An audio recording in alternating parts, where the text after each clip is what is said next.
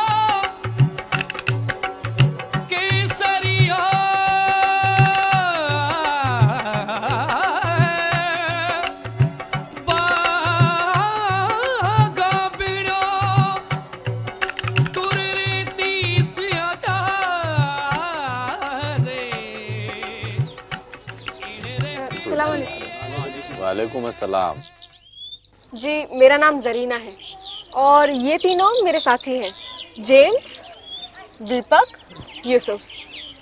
हम दिल्ली से आए हैं दिल्ली यूनिवर्सिटी में पढ़ते हैं। हमारा ये आखिरी साल है और हम यहाँ सर्वे करेंगे। ठीक है जी कर लो सर्वे।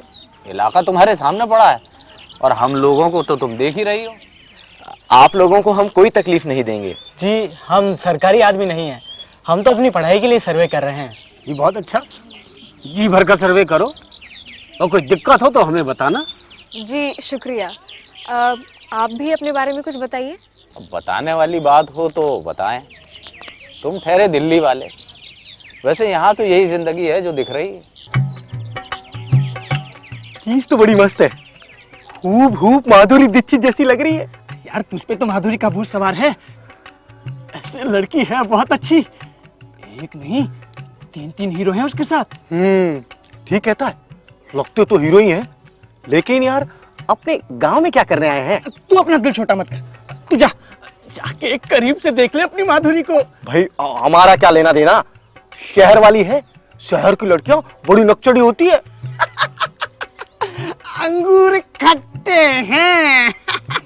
ज़्यादा बगुला भगत मत बन। है? ललचाई नज़रों से तो तू भी देख रहा था उससे वैसे मेरा नाम मोहम्मद अली है और ये करीब में मेरा घर है। और ये मेहर अली हैं ये असद और ये रामप्रीत। बाकी सब अपने ही लोग हैं। हमें आपसे मिलकर बहुत खुशी हुई। वैसे नज़दीक में यहाँ मेरा घर है। वहीं चलकर थोड़ा आराम कर लो चाय पानी पियो। थक गए होगे दूर से आए हो। और भाई साहब आप गाड़ी इधर लगा दो कमरे के पास। तो मैडम मैं वापस चलता हूँ। एशिया साहब ने ये कहा था मैं आपको वापस आके ले जाऊँगा। अरे भाई साहब कुछ खा पी कर जाओ ऐसे थोड़ी है। नहीं जल्दी एस साहब ने बुलाया था। अरे नहीं नहीं ऐसा नहीं होता। है अरे असद इनको ले जाओ नाश्ता पानी कराओ। और मैडम सामान? हाँ सामान। यूसुफ जरा सामान उतार लेना। चलो भी सामान उतारें आ जाओ। और बेटी हम भी चलते हैं तुम्हारे साथ। हाँ मेहर चलो। आओ।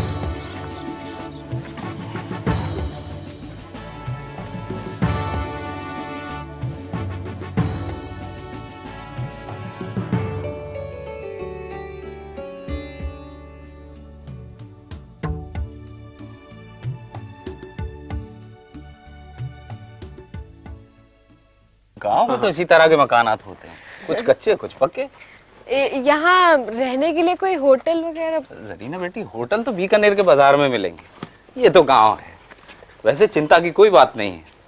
हमारे गरीब खाने को ही होटल समझ लो और आराम से रहो। क्यों मेहर अली? मोहम्मद अली ठीक कहता है। जो भी इस गाँव में आता है मोहम्मद अली के घर में ही ठहरता है।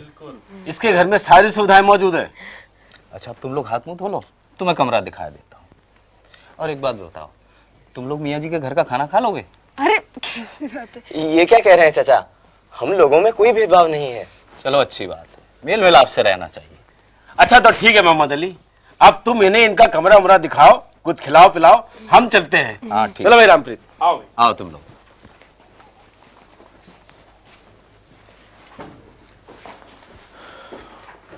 आ जाओ भाई लोग। अपना सामान यहीं रख दो। यहीं रहोगे तुम लोग। यही मेरा छोटा सा गरीब खाना है। दूर से आए हो हाथ मुँह धो लो थक गए होगे आराम कर लो। मैं कुछ खाने पीने का बंदोबस्त करता हूँ। जी। ठीक है। जी शुक्रिया।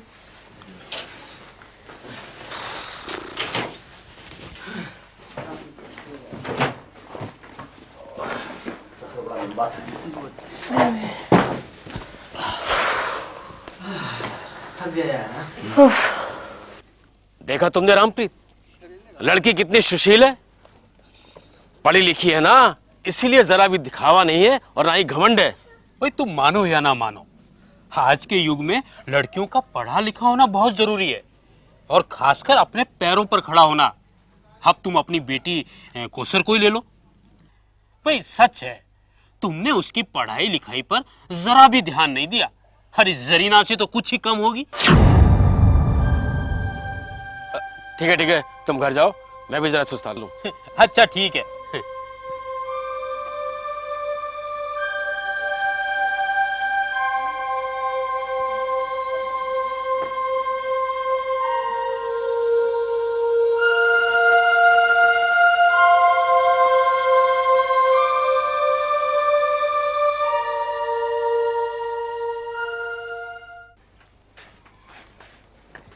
बाबा दिल्ली वाली वापस चली गई क्या?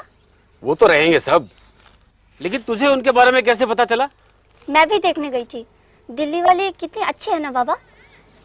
कौसर जा बाबा के लिए चाय बना ला।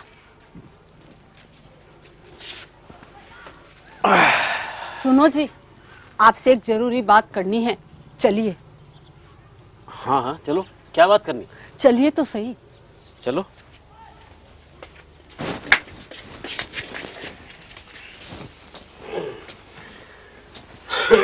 देखा तुमने? वो जो लड़की आई थी कौशल देखी कितना खुश है उसे। वो तो है। लेकिन इस बात पर तू इतनी क्यों हैरान है? हैरान नहीं हूँ। मैं उसकी माँ हूँ इसलिए समझती हूँ उसके दिल की बात। कौशल खुश इसलिए है कि वो जो लड़की आई है वो पढ़ी लिखी है। कौशल को भी पढ़ने लिखने का शौक है। लेकिन तुम हो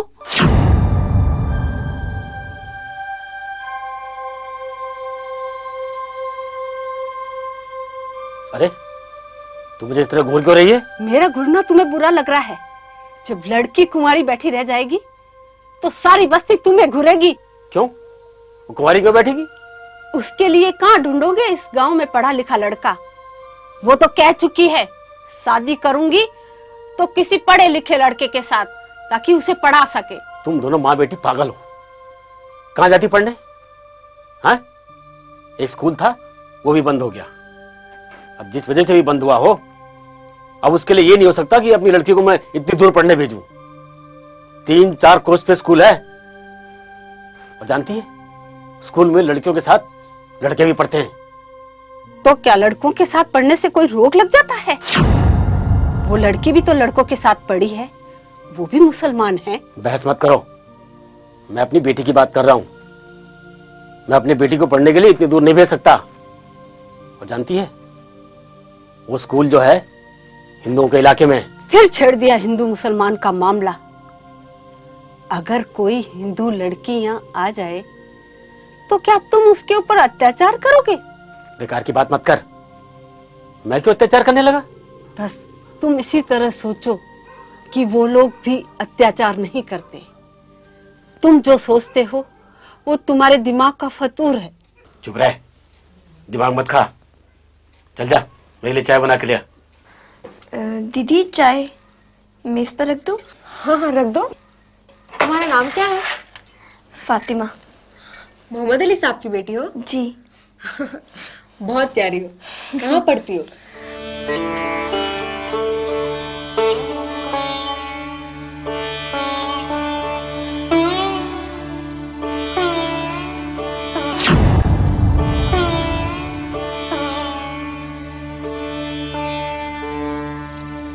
मैं नाश्ता लेकर आती हूँ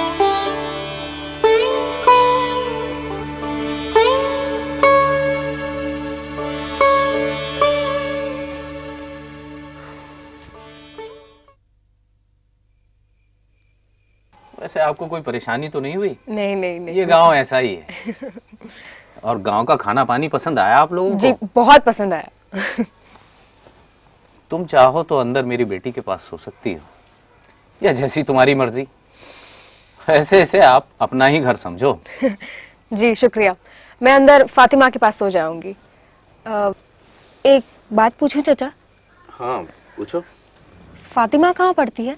ना फातिमा नहीं पढ़ती। नहीं पढ़ती? पढ़कर क्या करेगी? गाँव में ही रहना। एक बात बताऊँ चाचा आपको। मैं भी राजस्थान की ही हूँ। तुम राजस्थान की हो? जी। मेरी पैदाइश टोंक की है। जब मैं बड़ी हुई तो मेरे नाना भी मुझे इसी तरह पढ़ने लिखने से रोकते थे। अक्सर मेरे अब्बू को समझाते थे कि लड़कियों के लिए कुरान और घर की दीनी तालीम ही काफ़ी है। पढ़कर क्या करेंगी? शादी हो जाएगी फिर घर की जिम्मेदारियों में घिर जाएँगी। फिर? अब्बू मुझे पढ़ाना चाहते थे इसीलिए चुपचाप उन्होंने मेरा स्कूल में दाखिला करवा दिया। और नाना को पता चल गया। अरे क्या करोगे इतना पढ़ा लिखा करके? लड़की को कलेक्टर बनाना है। तुम्हारी माँ ने भी कभी पढ़ाई की थी? फिर भी देखो ये घर चला रही है।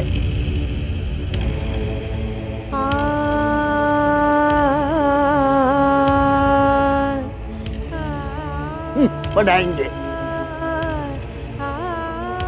बच्चे तू अंदर जा।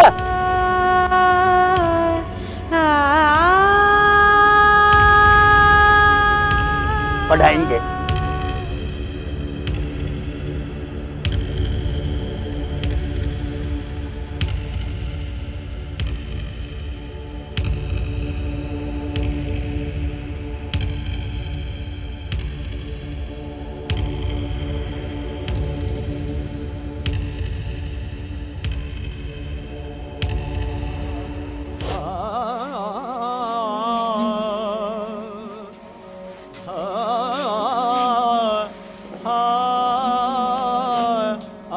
बेटी तुम पढ़ना चाहती हो? हाँ अबू मैं पढ़ना चाहती हूँ मैं बहुत पढ़ना चाहती हूँ। बिल्कुल मत घबराओ। मैं तुम्हारे लिए अपना ट्रांसफ़र करवा लूँगा। ट्रांसपोर्ट कंपनी की ब्रांच दिल्ली में है।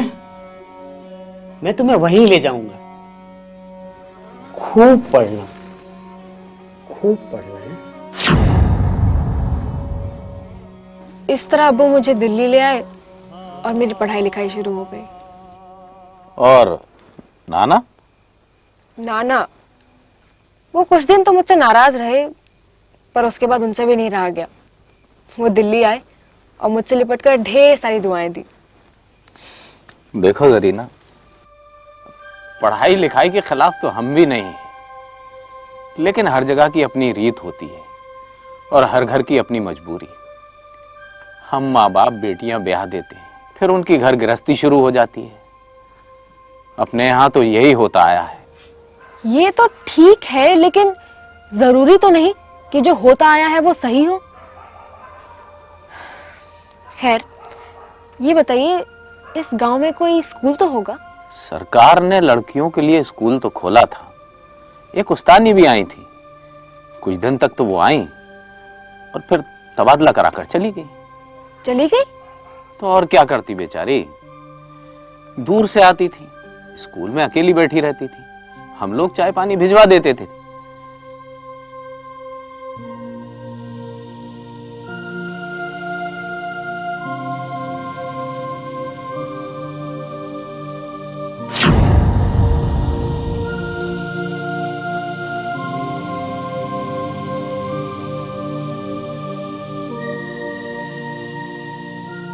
और एक दिन उन्होंने आना बंद कर दिया। फिर स्कूल का एक तरफ़ का छप्पर गिर गया। तब से स्कूल वैसे ही पड़ा हुआ है। तो मतलब गाँव में पढ़ने लिखने का चलन नहीं है? हाँ अब तुम यही समझ लो। लड़कियों को पढ़ाने की परंपरा गाँव में नहीं है। ये मैं मानती हूँ कि परंपरा हुआ करती है जिसका ताल्लुक तहजीब से संस्कृति से होता है। लेकिन चचा कभी कभी कोई गलत धारणा भी तो परंपरा बन जाती है, जिसे बदला जा सकता है। आपने तो सुना ही होगा, अरब में क्या परंपरा थी? बेटियों की सूरत तक देखना गवारा नहीं करते थे वो लोग। औरतों की कोई इज़्ज़त, कोई मर्यादा नहीं थी। ये वहाँ की परंपरा थी। तब उस परंपरा को अल्लाह के नबी ने तोड़ा और औरतों को समाज में बराबरी का दर्जा दिलवाया। इसलिए चचा जिससे समाज का नुकसान हो वो परंपरा बदली जा सकती है। हाँ हम तो जाहिल लोग हैं। मौलवी साहब ने कहा था कि औरतों को पर्दे में रखो और लाज शर्म के साथ रखो। अब एक बात बताओ कि स्कूल जाने में शर्म लिहाज तो मैं नहीं मान सकती कि मौलवी साहब ने पढ़ने लिखने के लिए मना किया होगा। हाँ मना तो नहीं किया। पर्दे की बात कही थी जो हमने गांठ बाँध ली। और लड़कियों को घर में ही रहने दिया। अब आप उनसे पूछिएगा तो वो आपको पर्दे के बारे में भी समझा देंगे। लो मेहर अली भी आ गए। अब तुम इन्हीं से पूछ लो। हम कभी गलत नहीं कहते। अस्सलाम वालेकुम वालेकुम अस्सलाम। आइए मेहर अली भाई। जरीना बड़े काम की बातें बता रही। अच्छा तुम भी बेटियों वाले हो। माफ़ कीजिएगा मैं जरा अंदर जाता हूँ आप लोग बात कीजिए। हाँ हाँ जाओ बेटा। तुम शहरी लोगों के पास करने के लिए तो बहुत कुछ काम है। बेटियों की क्या बात निकल आई? ये लड़की कहती है कि हम अपनी बेटियों को न पढ़ाकर अच्छा नहीं कर रहे हैं। यार ये फिर शुरू हो गई। बहुत पका रही है क्या? ये सुधरने वाली थोड़ी है। पक्की मास्टर नहीं है। आप हमारे बुज़ुर्ग हैं। आप तो जानते ही होंगे। और हमने भी पढ़ा है। कि इल्म बहुत ज़रूरी है। हाँ मौलवी साहब भी यही कहते हैं ज्ञान नहीं तो इंसान नहीं। जी उन्होंने ये भी कहा होगा कि ज्ञान औरतों के लिए भी ज़रूरी है। ये तो हमने ध्यान नहीं दिया। इल्म लड़कियों के लिए भी ज़रूरी है। एक बात बताइए अगर मैं आपकी बेटी होती और कोई आपसे पूछता तो क्या ये बताते हुए आपको खुशी नहीं होती कि आपकी बेटी कॉलेज में पढ़ती है? कभी आपने अपनी बेटियों से पूछा कि वो पढ़ना चाहती है या नहीं?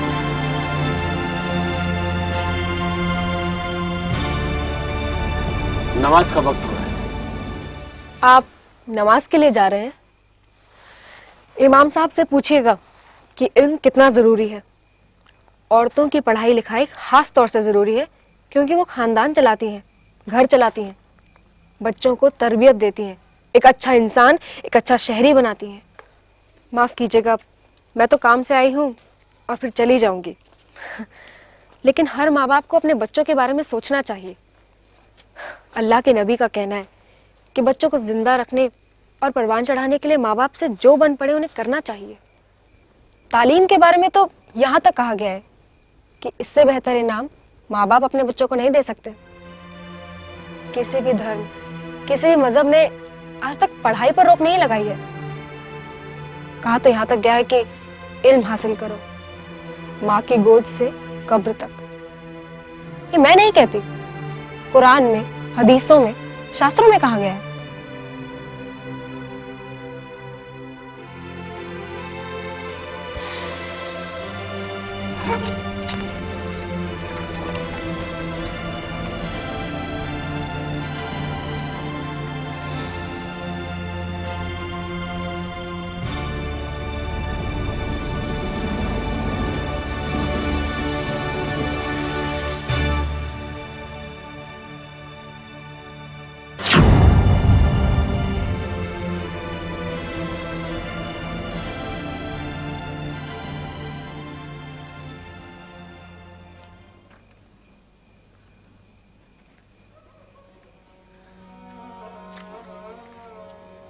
हाँ जरीना।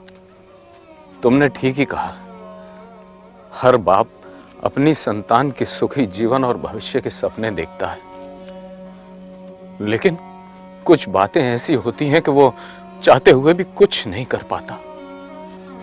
अब तुम इसे एक बाप की मजबूरी समझ लो या ईमान की कमज़ोरी।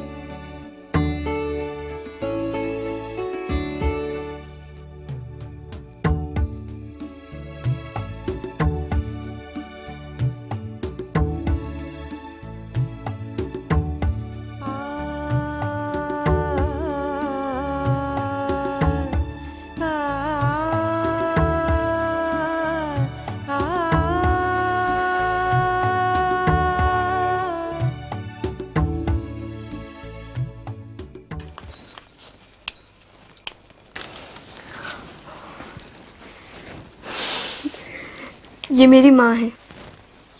अस्सलाम वालेकुम जीती रहो। फातिमा के पापू ने तुम्हारे बारे में बताया। वो जब भी अंदर आता है तुम्हारी ही तारीफ़ करता है। कह रहा था कि लड़की बहुत समझदार है। कॉलेज में पढ़ती है लेकिन दिन दुनिया की खबर रखती है। दीदी बैठो ना। हाँ हाँ बेटी बैठ। तो तुम्हारे गुण गाते नहीं थकती। कह रही थी कि तुम्हारे साथ दिल्ली जाएगी। तुम्हें नींद नहीं आ रही? नहीं मैं तो देर तक जागने की आदी हूँ। पर सुना है गाँव वाले जल्दी सो जाते हैं? नहीं तो आस पास के लोग दस बजते ही सो जाते हैं। हम ही देर से सोते हैं। हम सब देर तक टीवी देखते रहते हैं। तुम टीवी देखती हो? जी। चाची आपकी बेटी तो जी के अलावा कुछ बोलती ही नहीं। क्या आप लोगों के साथ भी ऐसी गुंगी बनी रहती है? नहीं तो बहुत बातूनी है। तुमसे झेप रही है। तुम्हारे साथ घुल मिल जाएगी तो तुम्हारा दिमाग चाट जाएगी। अच्छा। तुम टीवी में क्या देखना पसंद करती हो? वो समाचार पढ़ने वाली को। समाचार पढ़ने वाली को? न्यूज़ रीडर को? जी। उसे क्यों पसंद करती हो? वो बहुत अच्छा बोलती है। समझा समझा कर और फिर बाद में जब मुस्कुराती है तो बहुत अच्छी लगती है। नमस्कार। आज के मुख्य समाचार हैं। विदर्भ में किसानों की मौत पर शोक मनाते युवक दिल्ली पहुँचे। हाई कोर्ट के अतिक्रमण के फैसले से सरकार ने चिंता जताई।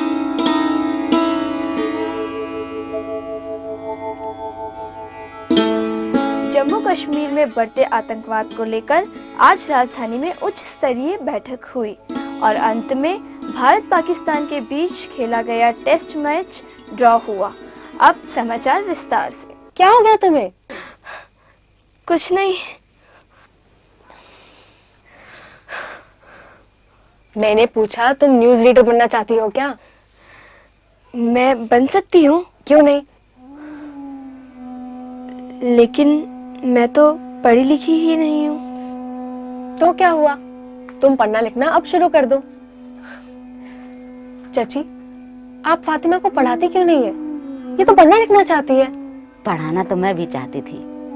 जब ये पैदा हुई तो इसके बाबू ने कहा भी था कि इसे खूब पढ़ाएँगे लिखाएँगे।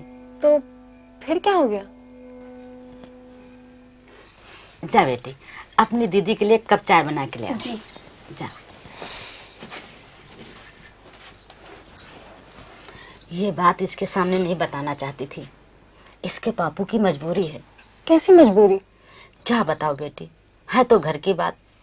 असल में इसका ताया इसके साथ अपने बेटे की शादी करवाना चाहता है जबकि वो लड़का कुछ काम नहीं करता। सारा दिन आवारा और मारा मारा फिरता है। कभी बीकानेर तो कभी दिल्ली। तो इसमें क्या परेशानी है? आप मना कर दीजिए। फातिमा के पापू पर उधार है। उसका बड़ा भाई पैसे वाला है। उसकी मदद करता रहता है। बहुत गुस्से वाला है। फातिमा के बापू उससे इतना दबता है कि उसके सामने अपना मुँह नहीं खोलता। लेकिन चची इन बातों से फातिमा की पढ़ाई लिखाई का क्या ताल्लुक? इसका ताया नहीं चाहता कि ये पढ़ाई लिखाई करे। उसे तो अनपढ़ बहू चाहिए। हैरत है। इस सोच के लोग अब भी इस समाज में मौजूद हैं। लेकिन चची आप ये तो देखिए फातिमा पढ़ना चाहती है। अब हम क्या करें? तुम ही बताओ।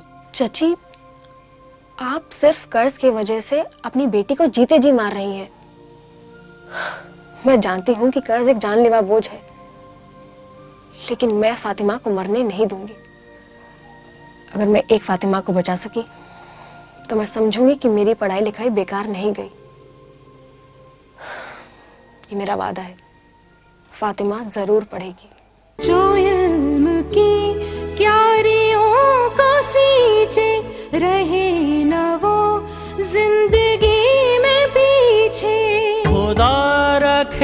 हौसला सलामत खुलेंगे हर घर के दर दरीचे। गले लगाएगी